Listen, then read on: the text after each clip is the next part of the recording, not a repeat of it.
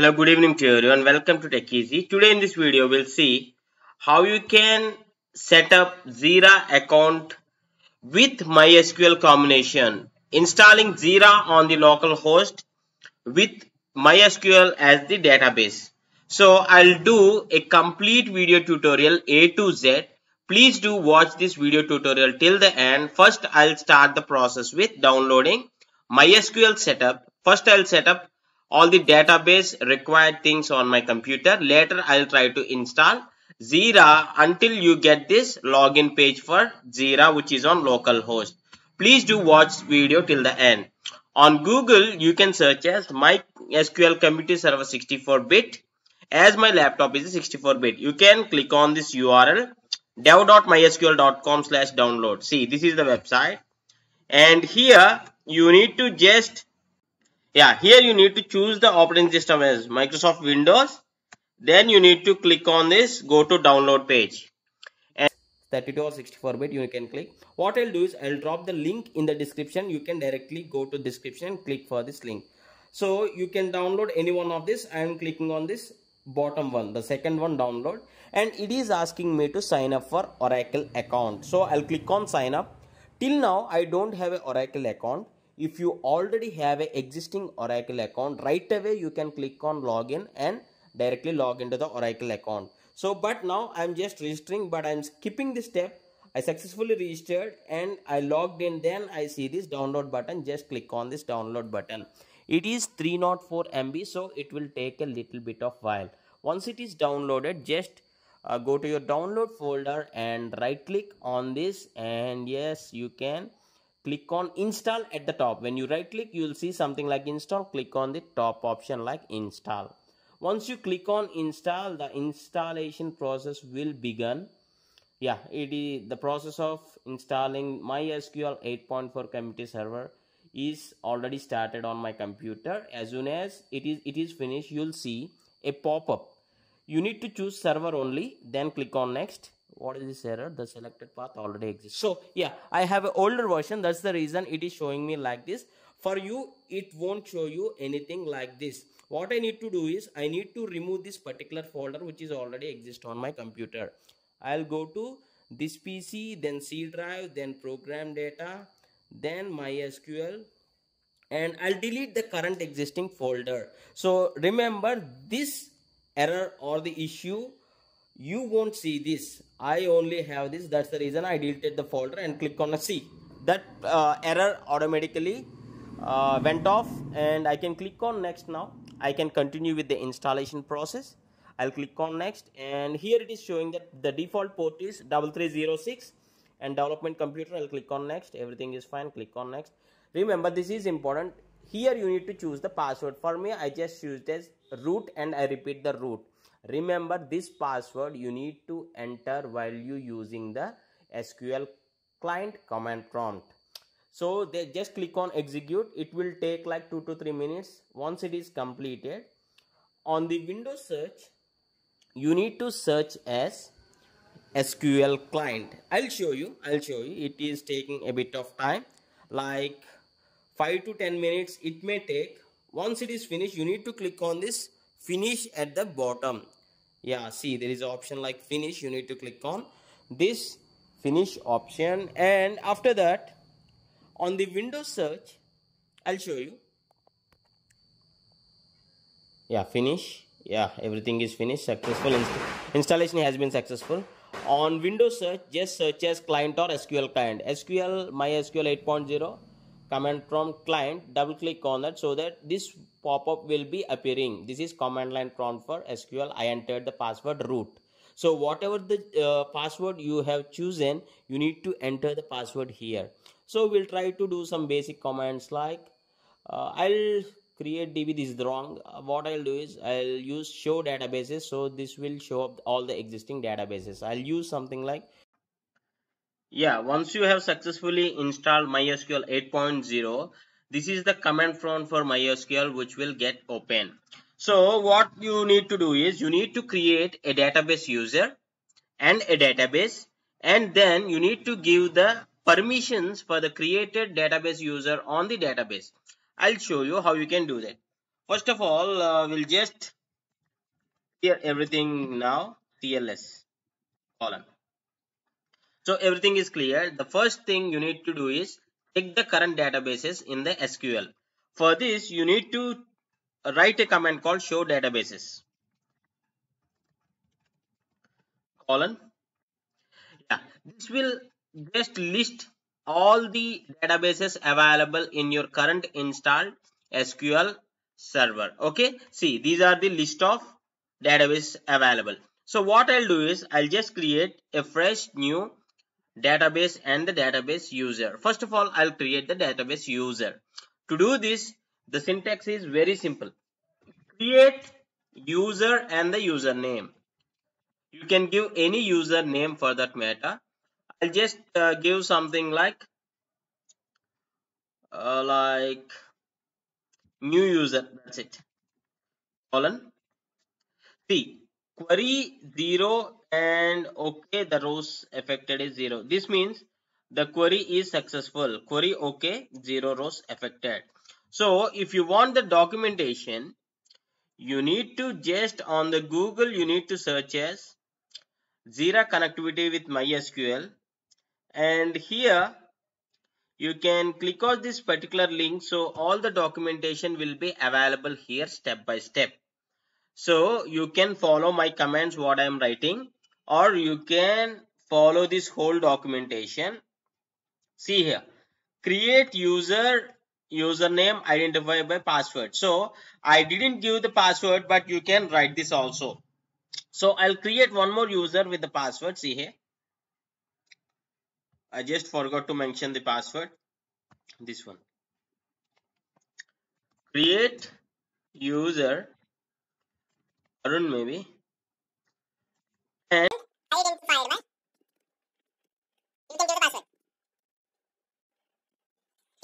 I have created a new user with the password admin123 and the next step you can follow is create the database. Just copy the entire this thing this command and just paste it over here and execute this. Where jira db is the database name. So you can give whatever name you want. So i'll modify this. So uh, what i'll give is tech db yeah so immediately I'll check show databases here. See where here. DB is created. Now I need to grant the permissions. The third step here is the third step grant all the permissions. So for this I'm going to execute this command which is grant all permissions on the particular database to the particular user. So here when I try to copy from that uh, official documentation of the website, see here, if I want to copy this, there I got an error and issue. That's the reason I am doing this.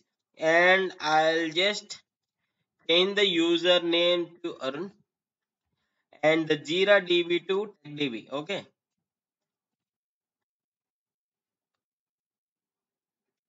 DB and I'll try to execute this. See zero rows connected. So now our mysql part configuration is set up.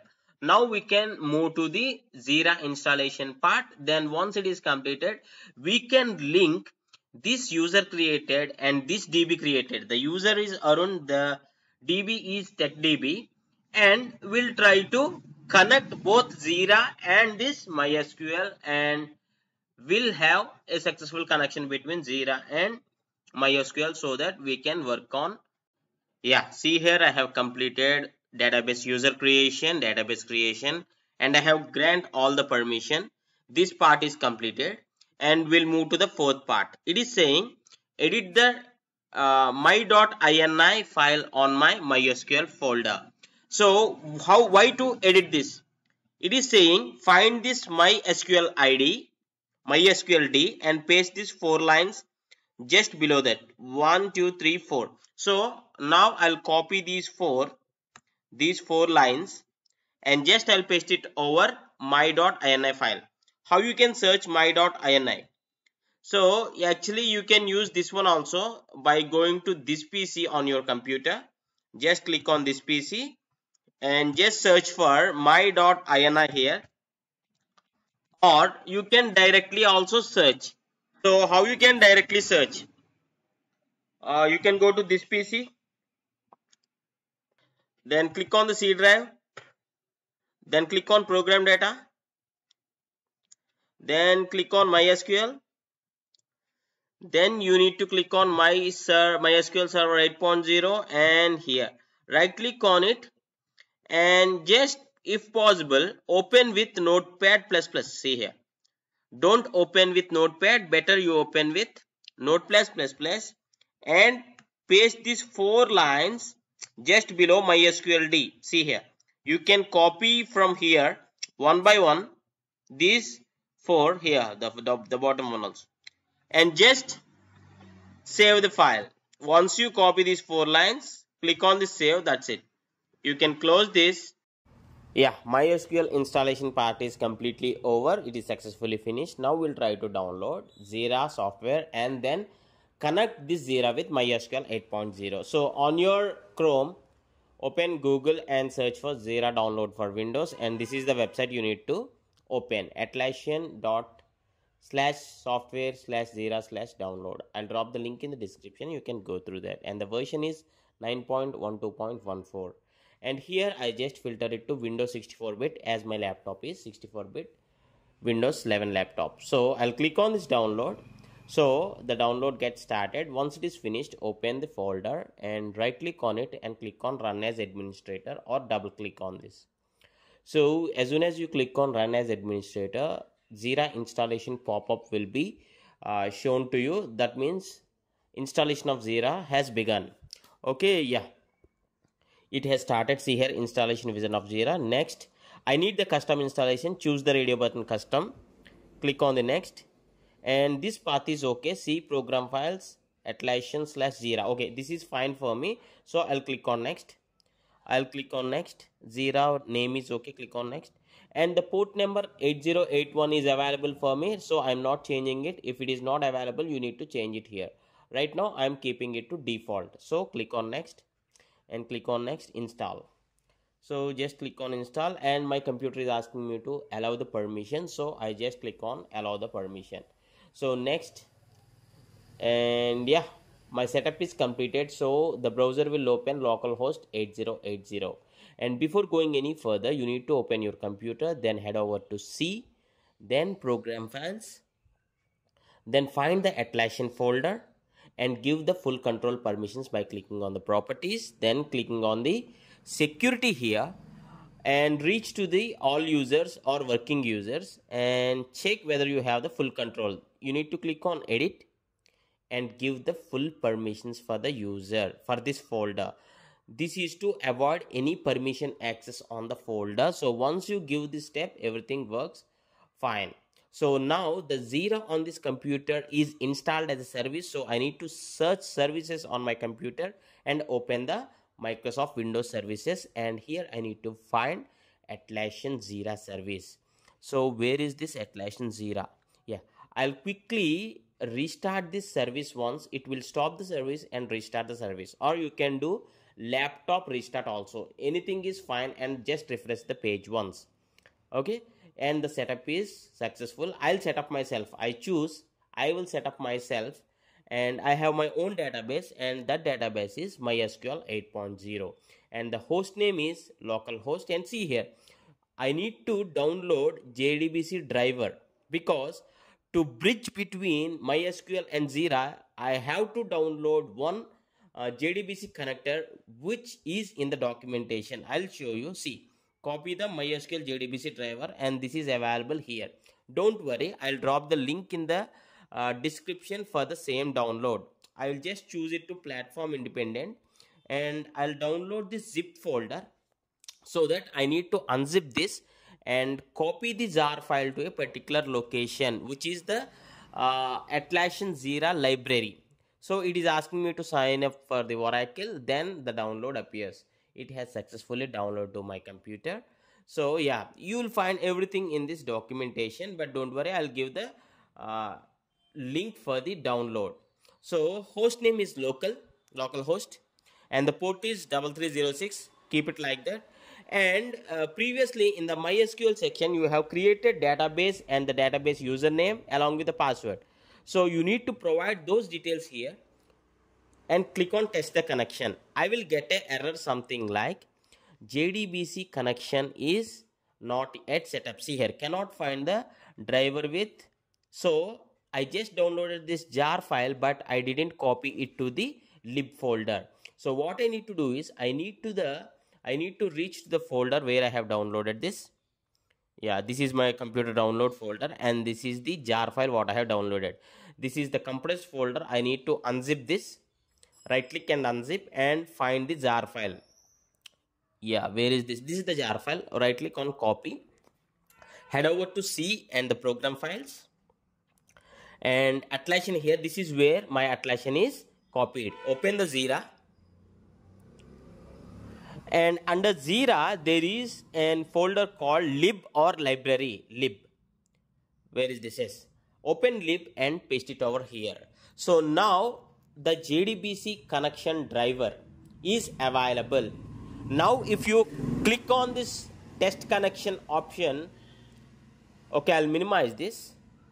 Now i for just once i'll restart the service of atlassian jira if possible you can restart your computer also computer laptop. Anything is fine but now i'm just restarting the service. Okay. And now i'll refresh this page once this localhost 8080 and i'll fill up the details all at once. MySQL 8.0, host name is localhost. Database name is TechDB, username is Arun, password I have chosen in MySQL and click on the test connection. This time the database connection test was successful. So I'll click on next. If you do have any other doubts, please do ask in the comments. So I'll clarify it. And I'll make it to public and click on next.